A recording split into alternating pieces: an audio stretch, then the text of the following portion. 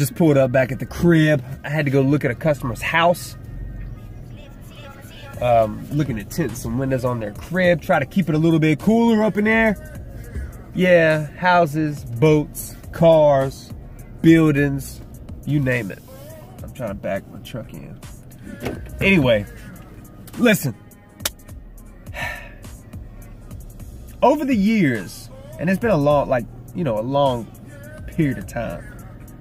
I've, I've hung around people that were bad about discrediting other people for their accomplishments. Like looking for excuses as to why they have that stuff or have achieved that goal and why they haven't. You know what I'm saying? And that stuff is toxic, man. Like if you hang around haters, eventually you're gonna become a hater, man. And that's uh, that's that's not winning. Like that is not a winning strategy. I'm telling you. Like when you discredit someone else's accomplishments indirectly, you're telling the people around you that you feel inadequate to that person.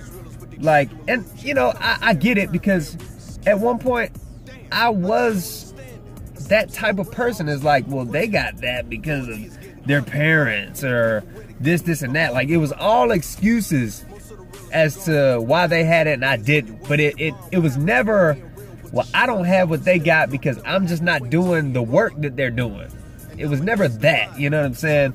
And I had to shift that perspective, man, because that is a losing mentality when you have a mentality like that. I'm telling you. I'm I, now, yo, if you're bettering yourself, if you're going after more than what's typically gone after, if you're making more money, you know what I'm saying? Like if you're if you're taking like yeah, I, I am genuinely happy for people living a more positive life than they were before, making more money than they were before. Like if you got more than me, great. I'm extremely happy for people that have more than me because I'm confident in myself and my own abilities that if I want those things, I can achieve them.